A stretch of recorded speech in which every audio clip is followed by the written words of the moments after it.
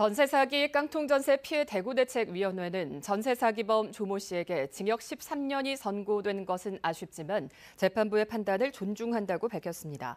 대책위는 검찰 구형인 15년형보다 낮은 형량은 아쉽다면서도 피해자의 심각한 경제적 타격과 사라진 일상, 잃어버린 삶에 대한 희망을 조금이라도 위로하고자 한 재판부의 판단을 존중한다고 강조했습니다.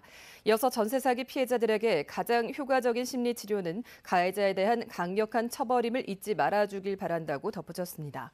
임대인 조모 씨는 4년 동안 대명동 일대에서 건물 12채를 임대해 청년을 비롯한 임차인 104명에게 전세보증금 88억 원을 받아 챙긴 혐의로 재판에 넘겨졌고 피해자 중 한 명은 지난 5월에 숨졌습니다.